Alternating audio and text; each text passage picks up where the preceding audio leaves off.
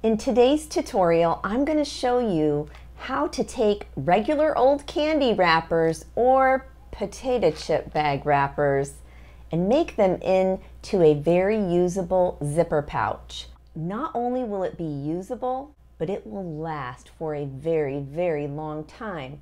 You will be able to clean it regularly with just a simple wipe. How do I do that? Well, you're going to have to stick around to find out. Hi friends, Tracy here from the Sewing Channel. Welcome back. And if you're new here, welcome.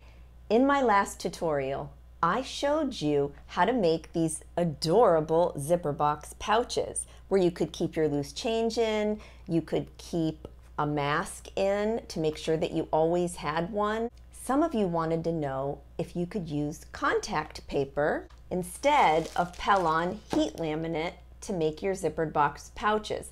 Well, I didn't have a very good answer for you, so I went out and I got some contact paper and I tried it. But this time I tried it on some candy wrappers. What better way to laminate candy wrappers and then turn them into little zipper pouches and clip them to our children's backpacks so when they go to school, they have their money in here, they might have a mask in here for the day. Whatever the case, they have it with them always. Does the contact paper work better than the Pellon? I don't think so. Now, if you're not going to sew on the contact paper, then that might be a good choice. But the Pellon for sewing wins hands down, no matter if you're laminating your fabric like we did in the last tutorial, or if you're laminating candy wrappers like today's tutorial. If you missed my last tutorial where I made this cute zipper box pouch, click the link above so that you can get all caught up. I'm not gonna eat this, I promise you. Now in today's tutorial, I'm going to teach you how to make this super cute round pouch. Now I did use the contact paper and I did sew it. Honestly, the, the heat laminate would have been way better because this makes too big of holes and it wants to skip a little bit and so I do not like the contact paper for this project. For another project, yes. For this one, no. Let's have some fun today down in the comments. Out of all these candies that you see right here, I want you to go ahead and take a guess and let me know what you think my favorite candy is out of all these that are sitting here. Sour Patch Kids, Peanut M&M, Skittles, Twix. Stick around to the end to know the answer to that question. Oh my word, enough talking already. Let's get busy. Be sure to think about who you are going to give this particular zipper pouch to. Make sure it's their favorite candy. For my round pouch, I wanted both sides to be really colorful and have the term Sour Patch Kids on them. So I went ahead and grabbed two of these at the store. Cut off each end and then cut down the seam of the package. After you've cut them and opened them all up, you're going to get a towel, a wet towel, and you're going to clean these off really good because we don't want any sticky candy left inside of there once we put our laminate on it. With a round Tupperware lid and a Sharpie marker that can be erased easily, you're going to go ahead and trace the circle on your candy wrapper. Because my lid is clear, I can see through the wrapper and I can fussy cut exactly what I would like in the circle. With some scissors, go ahead and cut around that circle that you just made.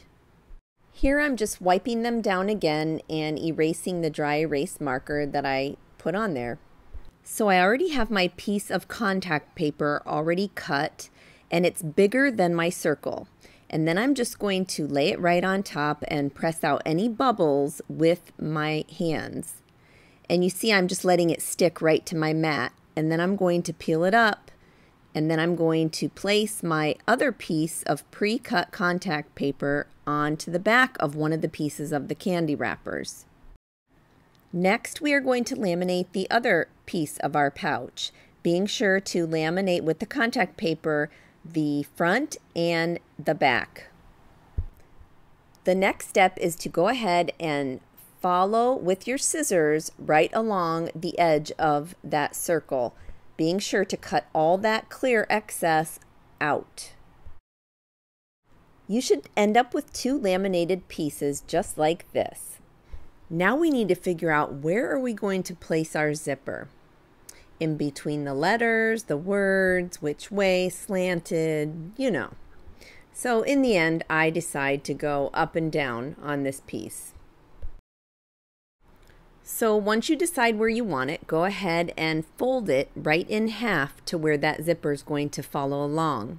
And then once you have your crease, you're going to go ahead and take your ruler and your rotary cutter and just slice it right down the middle. Now we're going to take some quarter inch double-sided tape and we are going to go ahead and put it on the one side of that pouch. And then you're going to take and place your zipper face down, just like you see me do right there. And then I'm going to press it into place and it's not going to move anywhere. Take it over to the sewing machine and about an eighth of an inch, quarter inch in, you're going to sew straight down. And then you're going to have something that looks like this. And then right at your sewing machine, you're going to go ahead and fold that back so we can do a top stitch right here. Fold that zipper area, you're looking at the back, so you're going to fold it toward the back. Just go ahead and finger press that crease in there and then just top stitch right down the about an eighth of an inch or so and pop a clip in there though if you need to to help you hold that down and then just sew straight down. You should have something that looks just like this. And mm, there's a look at the back.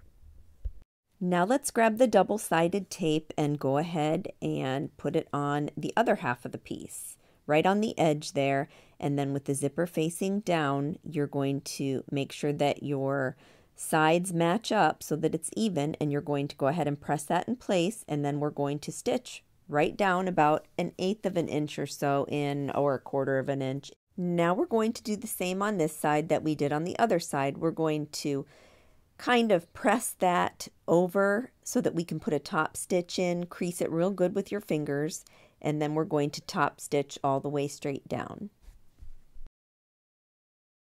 As you can see, our cute little pouch is finally taking its shape. This is why I love having a larger zipper than what my project actually is, because I'm able to maneuver the zipper tape just where I want it. Here I'm folding back the zipper tails with a couple pieces of double-sided tape. That is going to help hold those back so I can just put a little temporary stitch right in the ends there so that it keeps those tails out of the way. So when I go to zip my pouch, when it's all done, it's going to be nicely tucked away and hidden. At this point, make sure that your zipper tab is pulled about three quarters of the way open on your zipper tape, and then you're going to pop a pin in the zipper tape area. Once you decide which way you want the other side of your pouch to point, like which way the Sour Patch Kids says Sour Patch Kids, if that makes sense. Figure out how that goes and then position it with right sides together in the position that you want it. Being sure that your zipper toggle, again, is inside of the pouch and not on those outer edges where the zipper tapes are hanging off. So go ahead and put a bunch of clips in there just like you see me do here and just go around and just sew in a circle and be sure to backstitch. And I do reinforce over top of the zipper tape. Now, since my zipper tape is polyester and plastic, it will not hurt my needle at all. So I won't break a needle. Now, if it was metal, it would, and I would not be sewing over it. But in this case, I don't have to worry about it. Once that's all sewn, you're going to go ahead and cut all the excess off of the entire circle, including those zipper tapes and any extra plastic there on the end. Um, go ahead and take all that bulk out of there.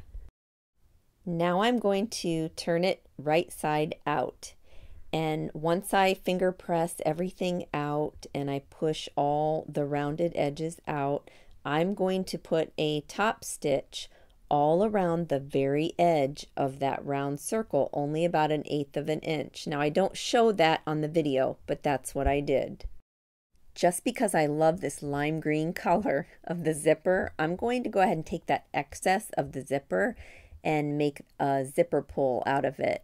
So you're just going to cut it down to what you want it to be size-wise in length and you're going to feed it through the little hole on the zipper pull and then you're going to sew a straight stitch right along so that it stays on there.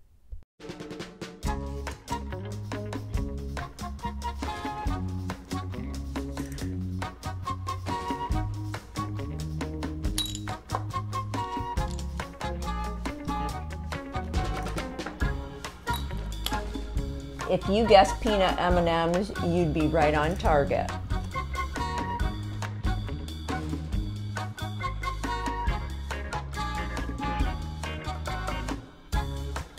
Until next time on the Sewing Channel, take care.